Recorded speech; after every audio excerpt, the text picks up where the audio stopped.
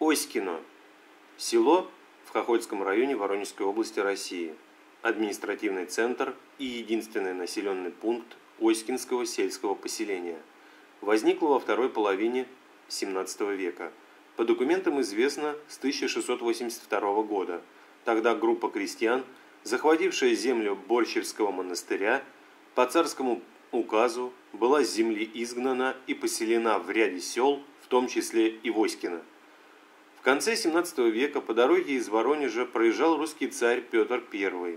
Дорога была опасная. Бродили банды Иосифа, наводя ужас на проезжавших купцов и на местных жителей.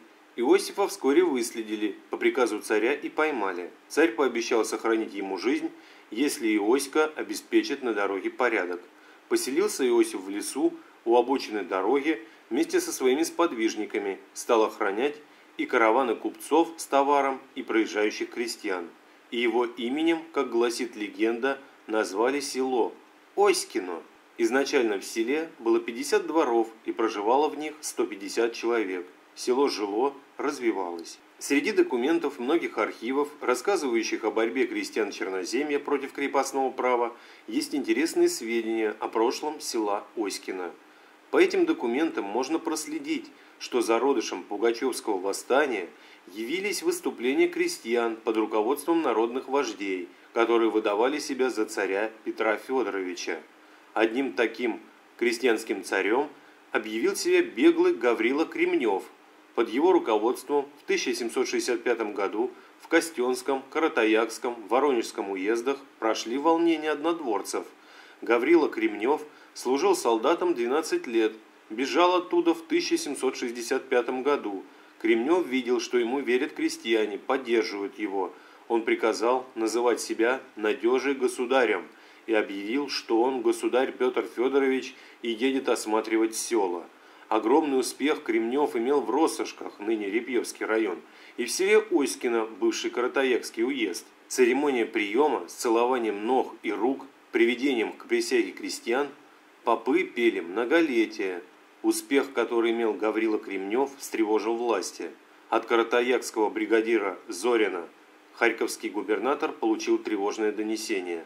В донесении было сказано, что 1 декабря 1765 года в селе Оськино появился человек, объявивший себя императором Петром Федоровичем, и вместе с ним важные сановники, вельможа Румянцев и боярский сын Краснощеков – Крестьяне села Оськино встретили царя восторженно, и вскоре с окрестных сел и деревень стал стекаться народ.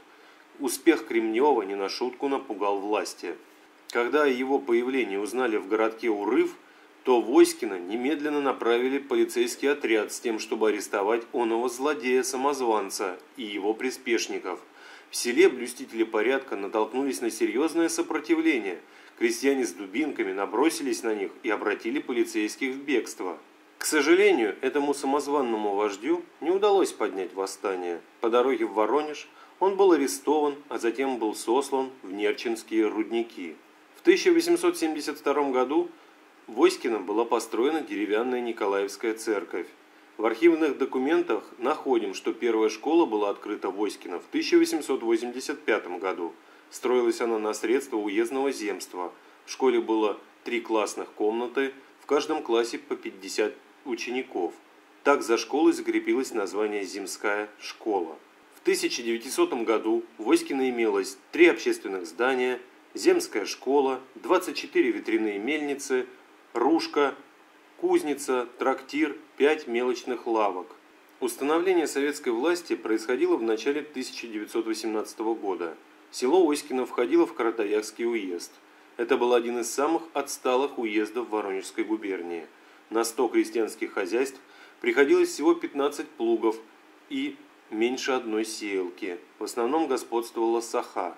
В уезде было засилье эсеров. Партийная ячейка была небольшая и вела работу в основном среди солдат 20-го пехотного полка, расквартированного в Каратаяке и уезде, в том числе и в Оськино. В Оськино была создана земельная комиссия, которая провела перераспределение земли по душевому признаку. Весной 1918 года в стране обострилась обстановка с заготовкой хлеба, надвигался голод.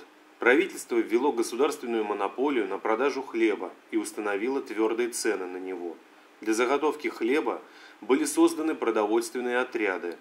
11 июля 1918 года был создан Комитет бедноты. Появился он и в Оськино. Его председателем был избран Попов Иван Терентьевич. В 1919 году Комитет бедноты слился с Советом. Тяжелым бременем легла продразверстка на плечи крестьян. Далеко не все оськинцы могли сдавать хлеб. В село присылали представителя уездного комитета партии, который организовал спецотряд, и продразверстка выполнялась принудительно. Найденный у крестьян хлеб изымался, а у зажиточных крестьян конфисковывалось имущество и их лишали свободы. В конце 1929 года среди оськинцев стали расползаться слухи о том, что землю отберут и не дадут развивать свое подворье. Земля, скот, орудие труда – все будет общим. Слухи стали реальностью. Правительство объявило о проведении сплошной коллективизации. В селе крестьяне разделились на две группы – кто побогаче и кто победнее. Основную массу крестьян составляли середняки – в селе сплошная коллективизация 1930 года. Руководил созданием колхозов районный комитет партии. На территории нашего села было организовано 8 колхозов. Весной 1930 года в колхозы вступили лишь 20% всех хозяйств. Остальных записали в колхоз принудительно.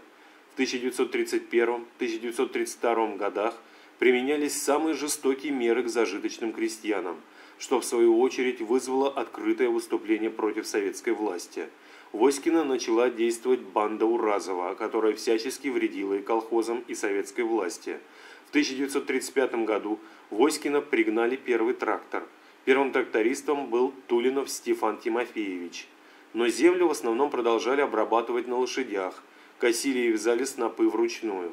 Нажим сверху не приносил успеха в коллективизации оськинских крестьян. Они не хотели расставаться со своей землей, прятали семена, уничтожали скот, середняков и даже бедняков, не вступивших в колхоз, объявили классовыми врагами, подкулачниками. Крестьяне уходили в лес и оттуда вели борьбу против советской власти. В борьбе против уразовской банды поднимались и комсомольцы, и коммунисты. Год от года жизнь на селе налаживалась. Основная масса крестьян была в колхозах. Люди не мыслили жить по-другому – Женились, рожали, растили детей, радовались и огорчались. Это были мирные годы мирной жизни. Но мирный труд оськинцев, как и всех советских людей, был прерван ранним летним утром, и это было 22 июня 1941 года. 466 оськинцев ушли защищать Родину. Из них 243 человека не вернулись домой с полей сражений.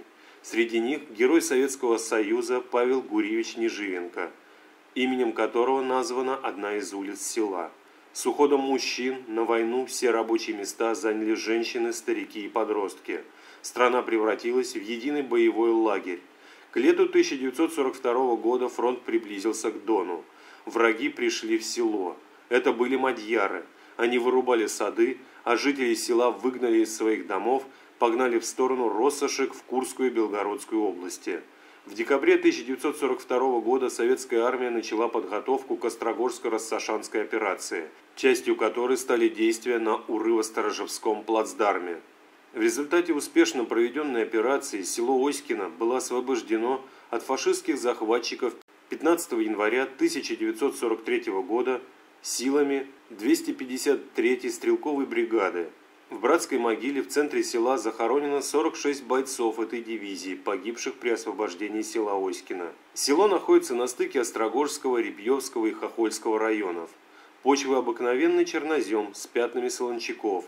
Из полезных ископаемых найдены запасы гончарной глины и известняка. Археологические раскопки близлежащих мастюгинских курганов Архангельского, Борщевских городищ, различные находки, каменный молоток, зуб мамонта свидетельствуют о древности заселения этих мест. В настоящее время в селе Оськино имеются сельскохозяйственное предприятие Оськино Агро, средняя школа, дом культуры, фельдшерско-акушерский пункт, почтовое отделение. Есть музей, который создан работниками культуры и селянами. В нем собраны работы местных мастеров – гончарного дела и других видов прикладного искусства. В музее собраны старинные монеты сельского быта, которые представляют сегодня интерес и являются памятью, оставленной нашими предками. На данный момент в селе проживает 684 человека.